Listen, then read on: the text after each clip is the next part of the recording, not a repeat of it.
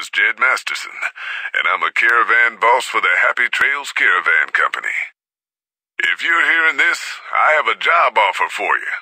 Happy Trails is organizing an expedition north into Utah, off the Long 15, and we need people.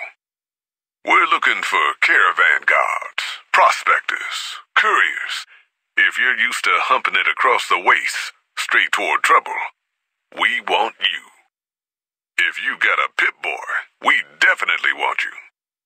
On the other hand, if you're a greenhorn or a city slicker spinning tales about your skills, you can kindly go hang.